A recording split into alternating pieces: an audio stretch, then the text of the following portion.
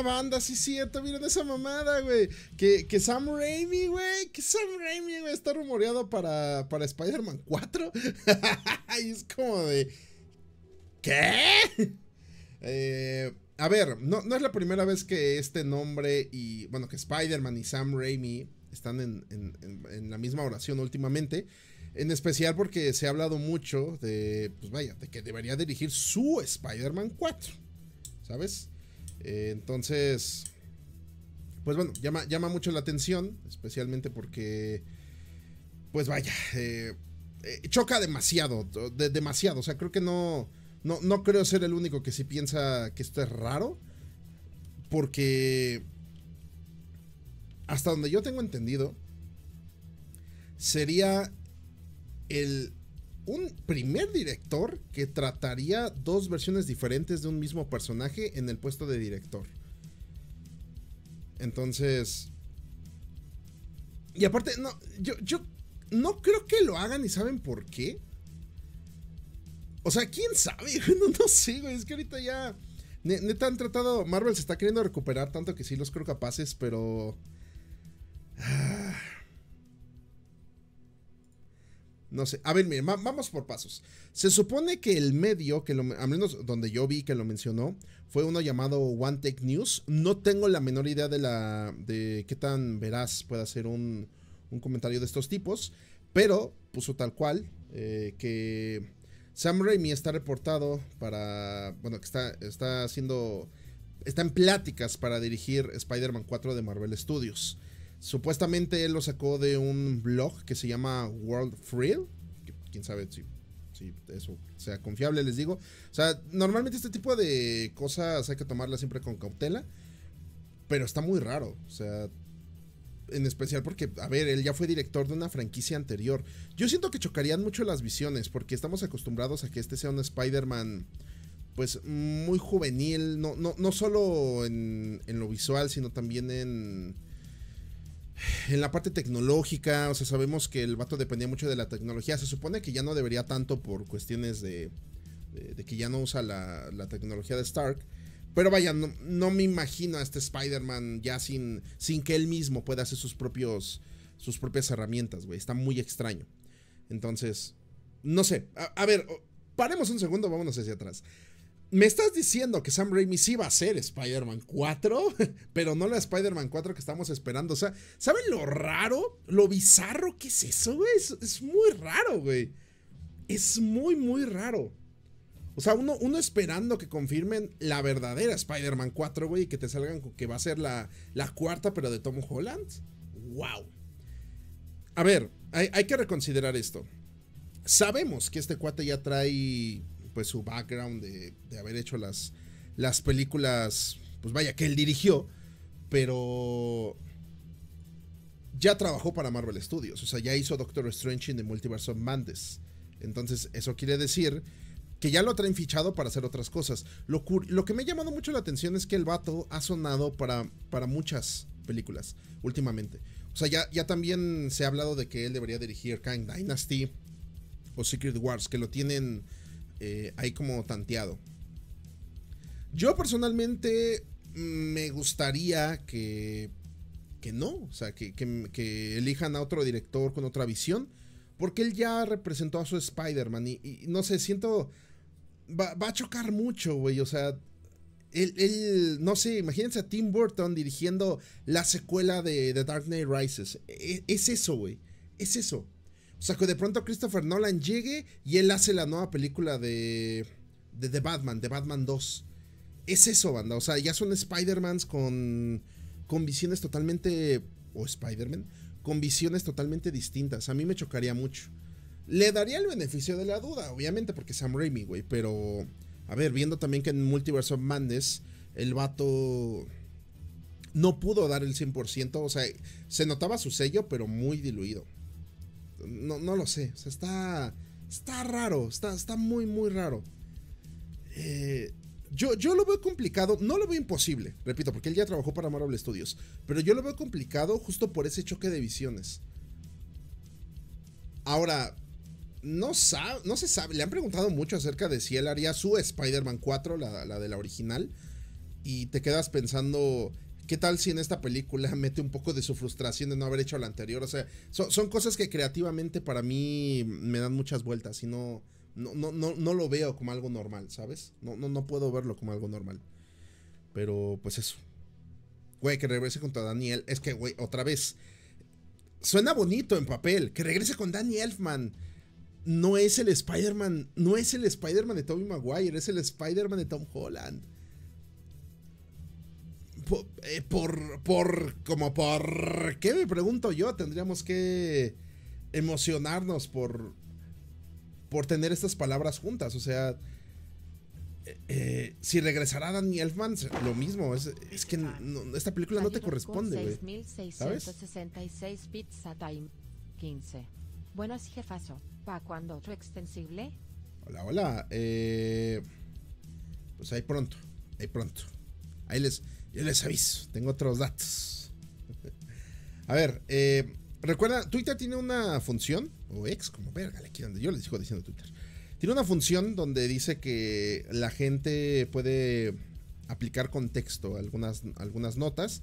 En este caso, algunos aplicaron un, contexto interesante que dice, esto no es verdad. Eh, World of Real, que es de donde sacó la información One Take, es conocido por difundir información errónea por clickbaits. ¿Ok? Uh, Sam Raimi negó los rumores de que dirigirá una posible Spider-Man 4 en WonderCon, diciendo: Marvel tiene tanto éxito con su tal Spider-Man que no sé si volverán conmigo. A ver, bueno, eh, aquí tenemos un problema. Aquí tenemos un problema, banda. A ver, putas, güey. No puedo, no puedo creer que voy a defender un rumor, güey, pero me lleva la chingada, ni modo. Este es el tweet y este es el contexto que agregó la gente diciendo que esto es falso porque él en WonderCon hablaba de. Pero. A ver, según yo, él aquí estaba respondiendo sobre su Spider-Man 4. Su Spider-Man 4. Y aquí no están hablando de su Spider-Man 4, están hablando de, de la de, de la de Tom Holland. Entonces, a ver, ahí está, está curioso. Por eso les digo que este tipo de información la agarren con pinzas porque la neta, hasta no tener una fuente fiable, o sea, hasta que Marvel salga y diga al chile si va a ser Sam Raimi, todas estas cosas son humo, güey, son ruido. Podemos especular, podemos ponernos locos, lo que tú quieras, pero no sirve de nada, güey, si al final vamos a andar eh, como una cacería de brujas, ¿sabes? Y saben qué es el problema de la cacería de brujas. Que no eran reales, güey. Entonces, ¿qué tal si aquí estamos cazando una bruja, güey? O sea, nada más no sabemos. Entonces, pero te repito, el contexto que agregaron aquí los lectores eh, en realidad se refería a su otra Spider-Man 4. Pero, pues, no, no, no, no lo sé. No lo sé. Ahora, eh, el vato sí ha hablado sobre su Spider-Man 4 y él ha dicho que pues, no se han acercado a él, entonces pues, pues X, ¿no? O sea, él no, él no puede hablar por, por Marvel o por Sony por si la van a hacer. Entonces. El rumor dice que si dirige Spider-Man 4 no podrá dirigir Secret Wars. Eso no descarta nada. O sea, no, no creo. Porque, digo, los rusos, eh, sin problemas, trabajaron en, en Civil War y luego un año después ya tenían, dos años después ya tenían Infinity War. O sea, eso no, tiene nada que ver. Pero otra vez, es, es puro clickbait ahorita. O sea, hasta que realmente veamos pues ya una confirmación, pues ya podremos, no mames, sí, Sam Raimi regresa, güey. O sea, yo, yo solo digo que sería muy raro, porque son... Es, un director con una visión muy específica de Spider-Man. Sabemos que él leyó muchos cómics de los 60. No sé si se ha actualizado los últimos años. Ha tenido 15 años para actualizarse, pero no, lo sé. O sea, lo, dudo mucho, pero quién sabe. Eh, entonces, el Spider-Man de Holland es muy Ultimate muy Ultimate. O sea, demasiado Ultimate. Es más Ultimate que Andrew Garfield. O sea, así se los digo, es muy Ultimate. ¿Sabes? Y se supone que Raimi también había eh, eh, actualizó la historia de la película de 2002 con muchos elementos de los cómics Ultimate, ¿sabes? Pero vaya que el vato trataba de meterle el feeling de los 60 y 70 quizá. Eh, eso va a chocar mucho, güey, ¿sabes? O sea, no sé, estaría interesante. Tengo mucha, tengo mucha curiosidad, no les voy a mentir. Pero si les soy sincero, ojalá seleccionen otro director. Digo, ya se ha hablado mucho de, de Drew Goddard, ¿no? Que, que él podría ser, pero tengo entendido que ya lo descartaron porque va a trabajar en otra cosa. Entonces, pues no lo sé. Ha estado interesante ese men, pero... Eh. Mm, apareció en Ultimate Spider-Man, eso es verdad. Bueno, sale en una versión, luego ya como que lo censuraron, cambiaron, quién sabe, pero eh, sí, ahí está. Es evidente que ahí anda. Han hablado también sobre el tema de que estará Black Cat y en una de las candidatas Sidney Sweeney. ¿Qué opinas? No se sabe que va a estar Black Cat para empezar. O sea, no, no, no se sabe. no, es, seguro. Eh, es uno de los tantos rumores que hay.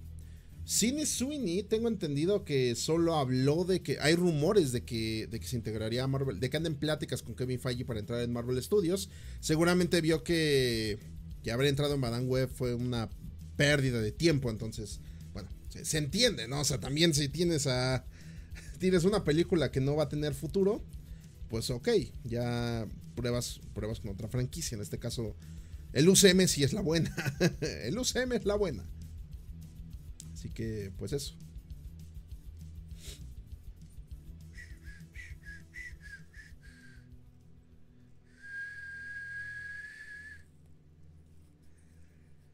Ay, ay, ay. Mm. Yo solo lo creeré si se confirma y aún así me preocupa porque el guion para mí es lo más importante y él no está involucrado. Ahorita está, es que es lo curioso, está, está muy raro todo el tema de Spider-Man 4 porque la película está avanzando en, en preproducción y no tienen director todavía. Para una película de Spider-Man eso es muy peligroso y puede terminar siendo una, una cinta más de Marvel tipo Ant-Man. O sea, hay mucho cuidado con eso y ¿saben qué? Que también otros rumores apuntan a que esto es culpa de Sony. oh, es que debería quedarse Spider-Man con Sony. Pues ahí están las consecuencias, güey.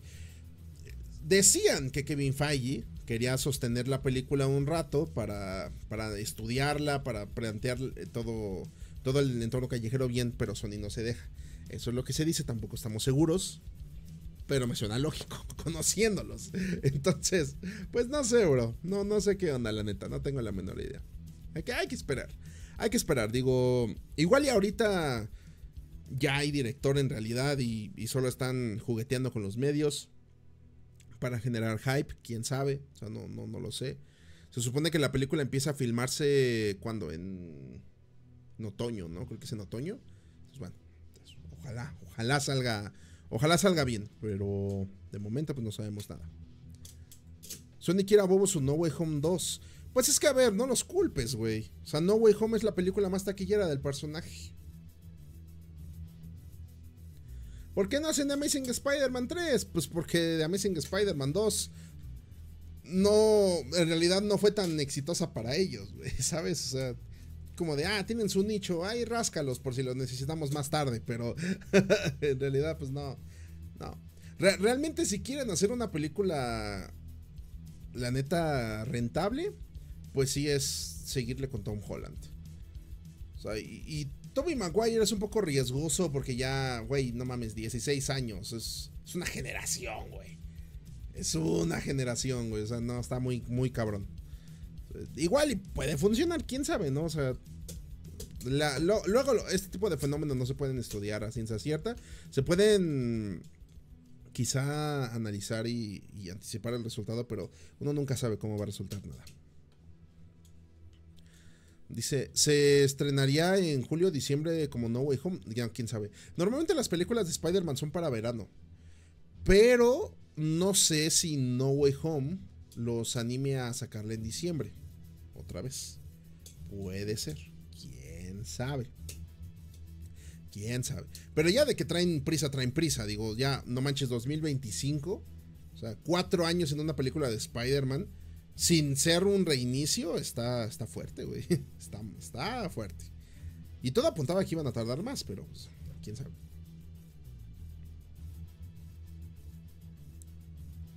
dice Rupel. Hoy, hoy hizo 40 grados y tuve una recaída. No me hablen, me, me caen bien. Ah, caray. Volviste, volviste a caer en la bebida, Rupel. No hagas eso, güey. Échate el aire acondicionado así en la cara, güey. 40 grados en la madre, güey. Nosotros aquí nos estamos muriendo por 32, imagínate, güey. No, 34. No, 32. 32. Hubo 34, pero solo se registró en ciertos puntos. Había un rumor de que Nicolas Cage iba a estar en el live action de Spider-Man Noir. No sé. O sea, yo, yo sabía que estaban haciendo la serie y que no iba a ser Peter Parker, pero es todo lo que tengo entendido. O sea, no, no, no estoy al tanto de lo que está haciendo Sony con, con las versiones alternativas del personaje, la neta, güey, porque... ¿Para qué me hago daño? 34 pero olvidas la sensación térmica. Ah, bueno, pero te digo 34 y fue en, fue en algunos puntos donde se registró. En el resto siguió siendo 32. O sea, agarraron el 34 pero de, de un punto específico de la ciudad.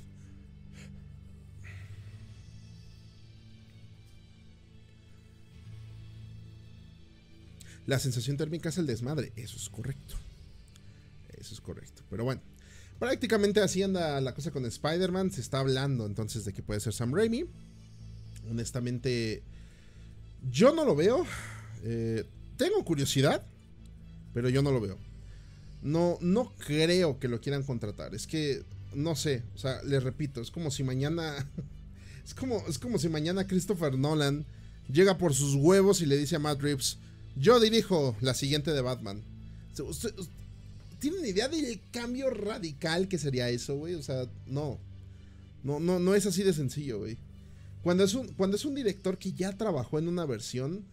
Y tú deja eso. Sam Raimi le, metió su alma a, a, su trilogía, salvo la tercera quizá. Pero le metió el alma a las primeras dos, güey. Entonces, me da miedo, güey, porque si mete el alma en las de Tom Holland, ahora las de Tom Holland se parezcan a las que él hacía antes, güey. Entonces no, no lo sé, güey. Son, cosas que me dan curiosidad. Quizá me emocionen si se llegasen a anunciar, pero no puedo evitar tenerle un poco de recelo a la idea. Ahora, si todos quieren puro fanservice barato, güey, pues está bien, vamos a volvernos loco, güey. ¿A quién pondrías para el nuevo soundtrack de Holland? No sé, no lo sé. No lo sé. No tengo la menor idea. Me gustaría, ahorita que he estado escuchando mucho el soundtrack de, de Capitán América eh, Winter Soldier. Mm, y aparte, y curiosamente, oigan qué chistoso. Y curiosamente estoy jugando Uncharted 4. Me gusta mucho cómo trabaja Henry Jackman. Podría ser una muy buena opción. Pero no sé. O no me acuerdo. Ah, ¿Cómo se llama? Ah, este güey, el, el Beer McCready que es el que hizo el soundtrack de los últimos God of War, que mm, buenísimo. O hizo el de Godzilla King of the Monsters. No sé si ha hecho en otras películas de Godzilla, pero yo lo topo por esa. Y no mames, trabajazo, güey. Trabajazo.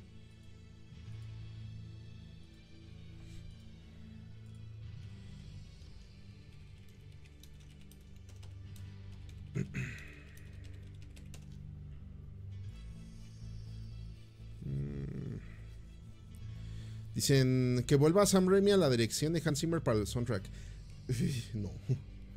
A mí, a mí Hans Zimmer me, gusta con Batman y con DC. Pero si lo dicen por el soundtrack de The Missing Spider-Man, preferiría mil veces a James Horner, aunque bueno, ya falleció. Pero no. El, el soundtrack que hizo para The Missing Spider-Man 2 es muy genérico de superhéroe. O sea, bueno, ya lo hemos platicado, ¿no? Y les he puesto pruebas y ustedes me han dicho que sí, güey. que la neta cierra los ojos con el tema principal de The Amazing Spider-Man y podrías poner a Superman ahí y dirías, sí.